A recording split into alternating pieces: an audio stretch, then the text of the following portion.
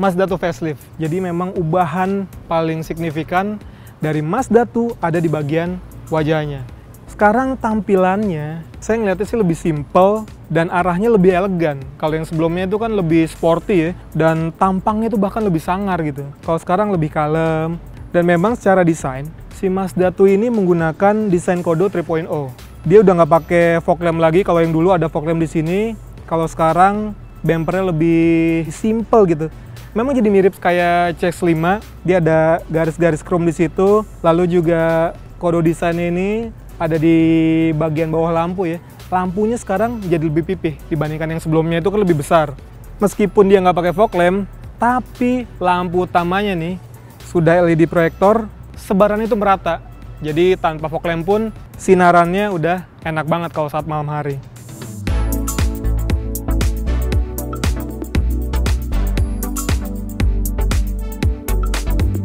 Di penghujung tahun 2019, Mazda Indonesia nggak hanya meluncurkan CX-8 yang sudah kami review sebelumnya, tapi ada juga Mazda 2 facelift dan juga CX-5 facelift.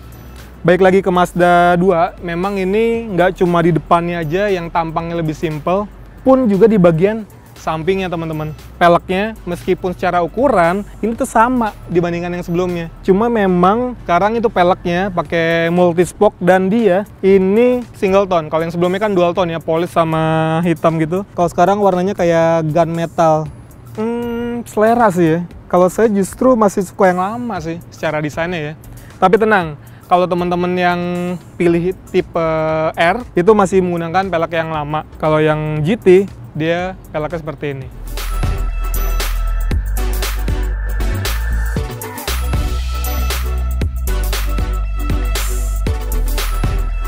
Di bagian buritan, supaya senada sama tampilan depan yang elegan, teman-teman bisa lihat di sini ada aksen chrome ya. Dan kalau diperhatikan lebih detail, plastik hitamnya ini sekarang lebih kecil nih dibandingkan yang pra facelift. Udah gitu ada empat buah sensor parkir ditambah ada kamera mundur. Jadi ketika kita mundur tuh udah kebantu sama sensor parkir, secara visual juga enak dari monitor bisa kelihatan. Altap juga udah standar ya. Sisanya sama aja dibandingkan yang Pro Facelift. Logonya Mazda 2 di sini memang sedikit berbeda. Kalau yang sebelumnya itu agak miring-miring, italik kalau gini sekarang lurus-lurus. Semua Mazda 2 udah keyless entry, nggak cuma yang tipe R tapi juga tipe GT. Cuma bedanya kalau yang tipe GT itu udah smart. Jadi ketika kita mau ngunci pintu, kita tinggal tutup aja, lalu kita tinggalin. Nah, dia bakal kekunci secara otomatis. Ini udah sama kayak Mazda 3 jadi lebih praktis lah.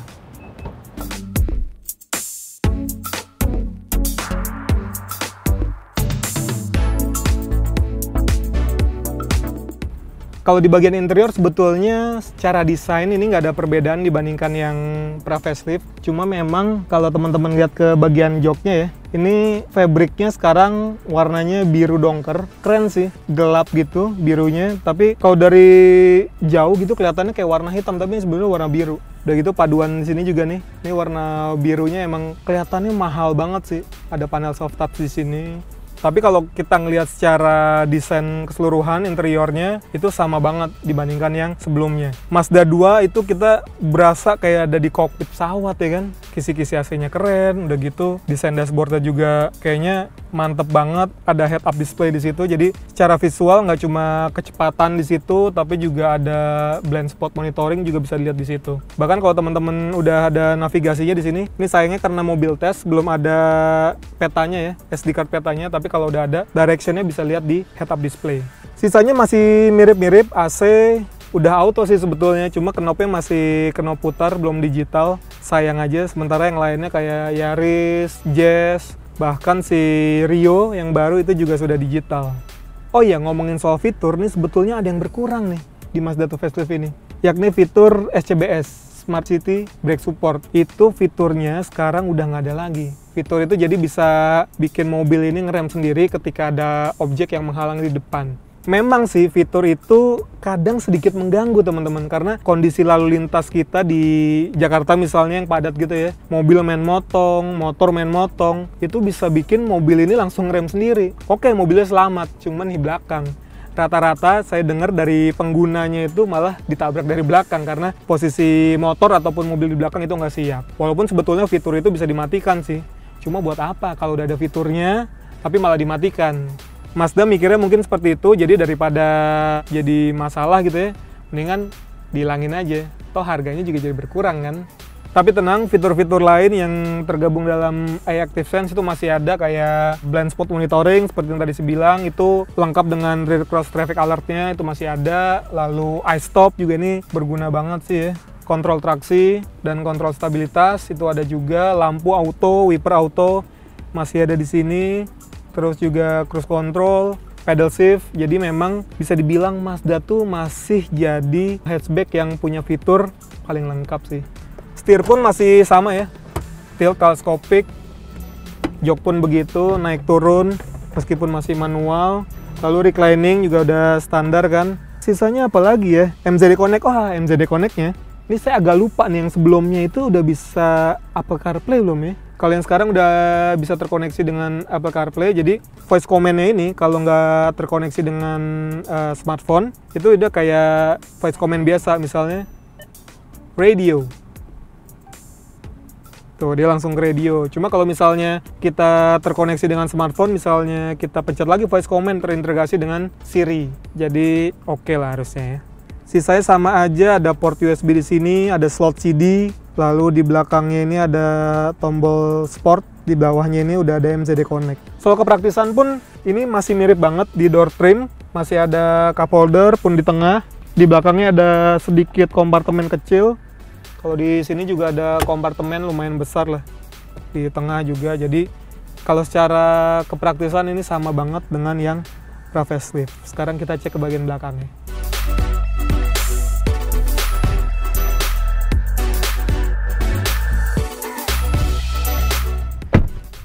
Oke, memang kendalanya di Mazda 2 itu legroom penumpang belakang itu nggak terlalu besar teman-teman. Jadi ini posisi duduk ideal saya dengan tinggi 170 cm ini menyisakan 4 jari, headroom juga 4 jari. Sementara kalau di Jazz atau Yaris itu kan masih bisa lebih lapang ya. Wheelbase sebetulnya nggak berubah ini di Mazda 2 facelift ini. Walaupun secara dimensi panjang itu berubah sedikit. Tapi kalau di dalamnya sih sama aja sih.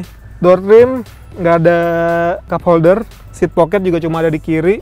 Jadi kalau bawa tumbler di sini nih satu-satu tempat nih. Ini juga bukan cup holder sebetulnya. Jadi kalau tumblernya kecil gitu ya, bisa goyang-goyang sih.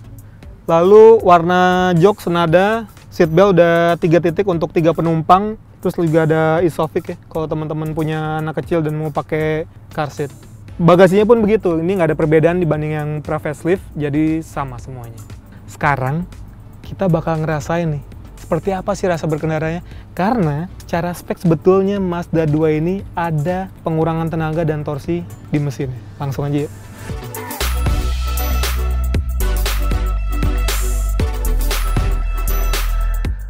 Nah, sekarang ngomongin soal performa. Ini hal yang menarik di Mazda 2 facelift.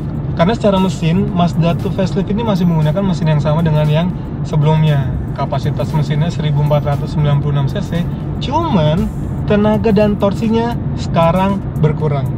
Jadi untuk tenaganya itu 111 dk dan torsinya 144 Nm.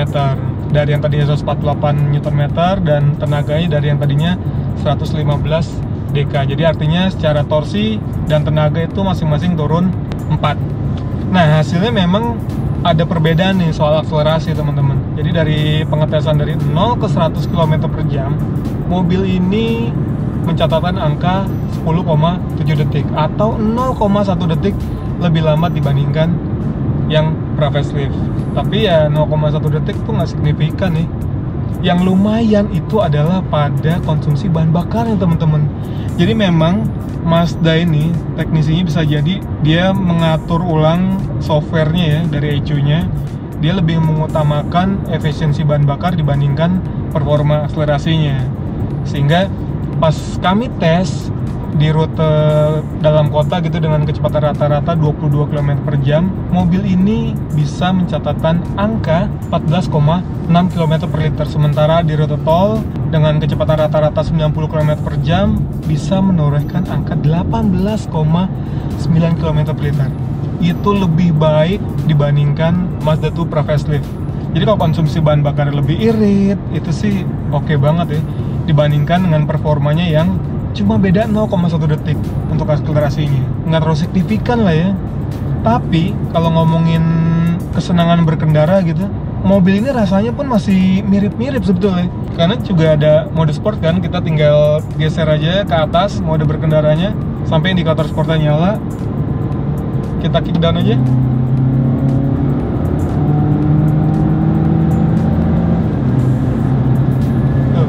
Masih enak banget mobilnya emang hal ini nggak lepas juga dari transmisinya sih. Dia menggunakan transmisi otomatis konvensional sebetulnya. Cuman memang rasanya Skyactiv Drive ini mirip dengan dual clutch sih. Perpindahannya cepat udah gitu juga responsnya dari putaran bawah itu udah enak banget. Jadi ketika kita injak pedal gas oh, responnya langsung ngomongin soal fun juga tadi ada mode berkendara yang mana ini jelas-jelas bikin respons mesin lebih responsif. Lalu putaran mesinnya juga berpindahnya di putaran yang lebih tinggi. Kalau kita kick down tuh dia baru pindah di 6500 rpm jadi oke okay banget sih. Udah gitu juga soal handlingnya memang Mazda salah satu hatchback yang terbaik kalau menurut saya Jazz memang oke okay handlingnya gitu ya. Cuma kalau ini rasanya ketika dibawa handling enak tapi ketika dibawa jalan santai juga nggak terlalu keras kayak Jazz gitu. Jadi memang karakternya dewasa. Mirip-mirip seperti Kia Rio tapi kalau Kia Rio itu cenderung sedikit lebih keras. Kalau ini tuh nyamannya juga masih dapet sih. Udah gitu ditambah si Mazda 2 facelift ini itu ada fitur yang namanya GVC atau G Vectoring Control. Ketika kita belok gitu ya itu memang rasanya si penumpang di dalam tuh nggak terlalu kebanting-banting gitu. Itu salah satu kelebihan sih Mazda 2 facelift. Soal kenyamanan juga ya seperti yang tadi saya bilang bandingan suspensinya nggak sekeras Kia Rio ataupun Honda Jazz gitu. Ini masih dalam taraf yang nyaman. Kebetulan saya nyobain di tol baru nih antara Serpong ke Alam Sutra. Karakter jalan itu masih beton kebanyakan kan jalannya ya agak-agak bumpy tapi kalau yang saya rasakan sih tuh bantingannya masih masih enak lah. Masih bisa diterima dengan nyaman. Kekedapan kabin juga di Mazda tuh bisa dibilang oke okay lah. Kalau dibandingkan rival-rivalnya dari Jepang seperti Honda Jazz dan Toyota Yaris sih ini masih yang terbaik